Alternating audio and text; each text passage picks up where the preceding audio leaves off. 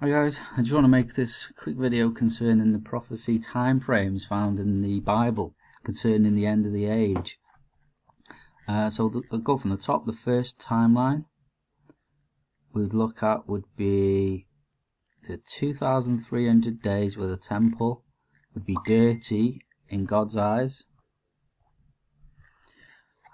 And so we take a reference point from Passover time, because if we think the two witnesses are going to get killed in Jerusalem like Jesus was, then 45 days after the Passover is when the Armageddon happens. So 45 days after Passover, around May time, we can go back 2,300 days, which is six years and three and a half months, and you would come to um, December if you went from Passover, but plus 45 days, equaling Daniel's prophecy, Daniel 12, you come to February. And the next prophecy we want to look at is the seven year agreement. Now, obviously, the seven year agreement will come before this six year and three and a half month prophecy of the temple being dirty, but it's just a bit easier to explain. So, before that, the, there's going to be a seven year agreement and it happens just before the sixth seal and the throne of God Nebuchadnezzar hits. Alright? They'll say peace and safety and then sudden destruction comes upon them. Okay? And then it says, among the seven years agreement, um, they shall cause the daily sacrifice in the newly built temple to cease and the oblation. Okay? But this time, this seven years may be shortened, as Jesus says, the time will be shortened for the sake of the elect. So here you have the seals, seal 1 through to 5, and then the seven year agreement begins. Okay? Just before the first passing of the throne hits at seal 6, they have the 144,000 are sealed, the great multitude are caught up to the throne of God and saved. Alright, so then another timeline is trumpet number 5, where Yellowstone volcano, the bottomless pit is opened and the sky is darkened and locusts come out having stings of scorpions and they sting the people who are not the 144,000 for five months. Okay, five months. Now, interesting enough, Nibiru's, the throne of God's ancient orbit path that the people had um, documented was five months. Interesting, because it could well be that this runs for five months and then when he flies back with his throne to pass pass through past the Earth again after going around the Sun. Trumpet number six goes, and that's nuclear war. 200 million man army, Russia, China, North Korea, and Iran, and they destroy one third of mankind, the population, and this goes on for 13 months. They were prepared for an hour and a day and a month and a year.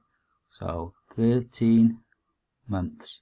Plus 5 is 1.5 years for these two trumpets here this is what I mean. This then between trumpet number six and trumpet number seven happen, We have the two witnesses. So this state, this bulk of events here could happen at any time. This is why the arrows here movable.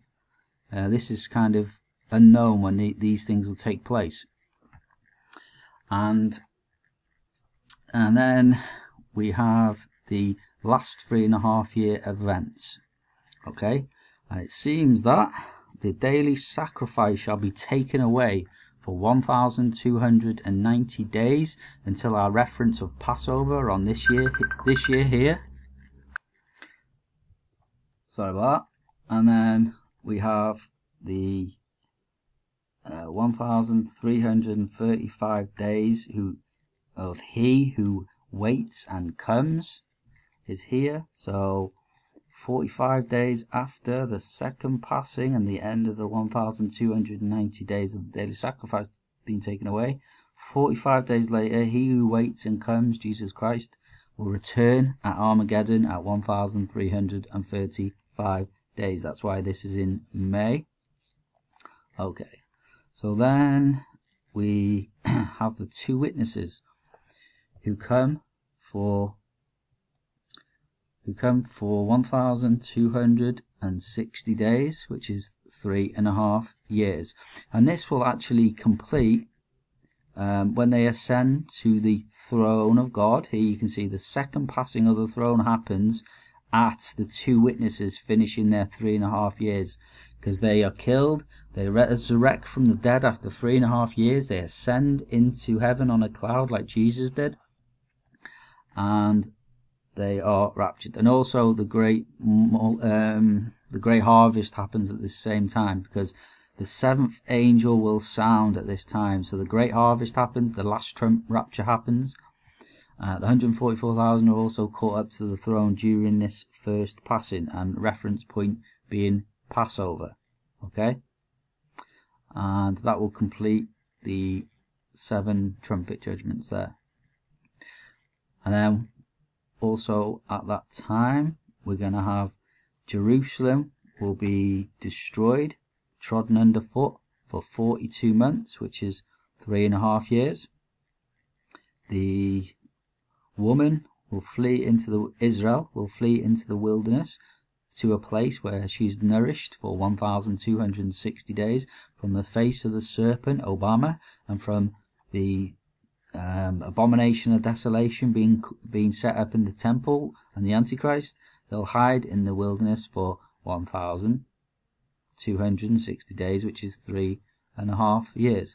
And then the antichrist will sit claiming to be god for 42 months until he reaches his end when Jesus Christ comes down at Armageddon, reference point being May, um, and then Israel could return, and that is the end of that. And then the temple can only be cleaned after them 2,300 days when Jesus returns at Armageddon, as per my Armageddon dream, where he lifted up his hands and the smouldering on the earth stopped and all the green grass come up um, from underneath.